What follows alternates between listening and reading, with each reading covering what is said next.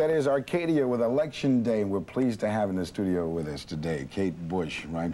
Kate is in this MTV studios for the very first time. As a matter of fact, how many times have you visited America? This is the third time. Just the third time? Yes. All right, well, as long as we have you here, this very talented lady, we're going to speak with her. We have got an awful lot of questions to ask you. We'll take care of that right after this word from Twix. Country. With us in the studio tonight for the very first time ever is Kate Bush. Now, you may not be aware of this, but she was, the, was first discovered at the age of 16 by Pink Floyd's guitarist David Gilmour. He was so impressed by her that he helped finance her first demos.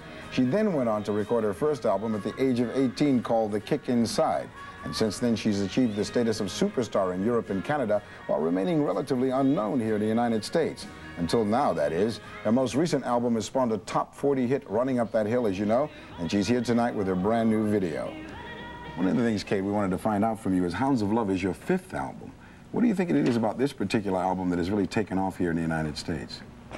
It's very hard for me to analyse it as an artist. Um, I think actually the last album received a great deal of positive reaction from people here, perhaps more so here than in my own country in Europe, where the, it was received in quite a controversial way.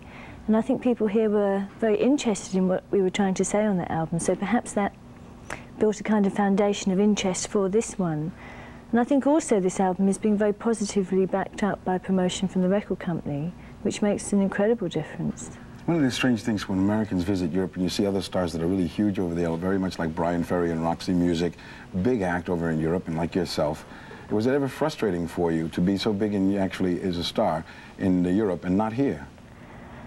No, I don't think it's, it's frustrating. I don't feel that I, I have to conquer territories as such, but it's always really exciting for me when people do be, become interested in my music, and it's great for me to be here. I'm, I'm so happy that people are are becoming interested in what I'm doing. Now, the word we have is that you don't like to tour.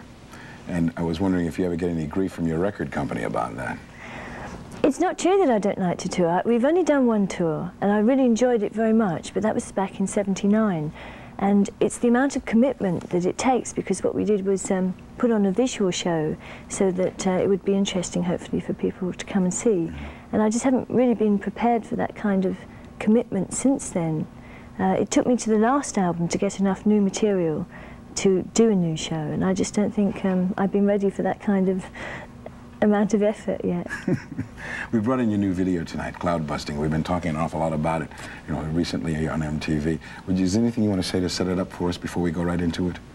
Well, we spent a lot of work on this. We wanted to treat it as a short piece of film, and it very much tells a story, so I, I just hope people enjoy it with Donald Sutherland in it. We'll talk about that too right after this. This is Cloudbusting, Kate Bush's latest.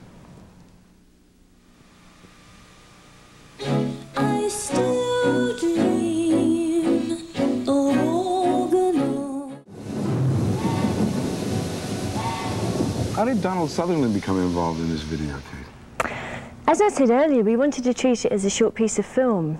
And uh, I, I, really wanted to get a great actor for it so that people would understand it was being approached in that way, as well as also having someone that would make the thing more interesting, more dynamic. He was our first choice. We couldn't think of anyone better, and we thought the chances of him doing it were really unlikely, but that it was worth a try. So we got in touch with him and sent him the script and a cassette of the song. And I think he was interested enough in the story and just happened to have those days free when we were shooting to be able to be in it.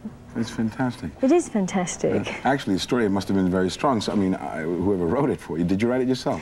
Well, the song is inspired by a book, uh, and so it was that story that we were telling. Is that fairly literal interpretation of it in the video, do you think? I don't know. I wouldn't like to, to dare to presume that, but I think we tried to do definitely the emotive side of it justice. Mm. Your past videos have always kind of featured uh, wild choreography. This one, of course, there's none in it. Why did you make a change at this point? I think uh, my early videos are very much influenced by dance and theatre.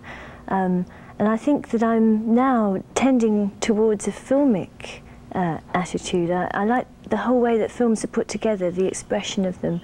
And um, I think that's the way that I'm moving now. And speaking of that, now, if you're going into films, do you think you might yourself get involved in acting? I really don't know. Um, I was surprised at how much I enjoyed acting in this video because in a way it's the first time I've acted as such. I've done a lot of different kinds of performing but um, this was really acting and uh, it was a lot of fun, fascinating. Are you getting any scripts coming your way? Um, there have been a few coming in on and off over the years but uh, either I don't have enough time or they're just not, they're just not quite right. You know, critics, I think, over the years have tried to attach labels to all sorts of music, and, and it's really not easy to do with your material. Is that a conscious effort on your, on your behalf to kind of like stay away from being labeled or categorized? I, I think I'm always trying to escape labels and never succeed. and that's just the way it is. Labels are necessary, really, for people to define things, so I think you just have to try and accept them. Now, very quickly, immediate plans. Tell me about your immediate plans for the future. Well, um, we're leaving here to go to Canada for a couple of days and then back home and I'm promoting the album really until Christmas. And then early next year we'll be making the next videos to go with the next singles. So um, it's going to take me to late spring, I think, or, already just promoting this mm. album. During that time, give some thought to touring, Kate. I'd love to see you here. Thank you very much. Thank you for coming back. My we'll pleasure. see you when you do tour. All right. The night is still young, so says Billy Joel. It's his latest video, and you can check it out within 20 minutes. It was nice having Kate Bush with us.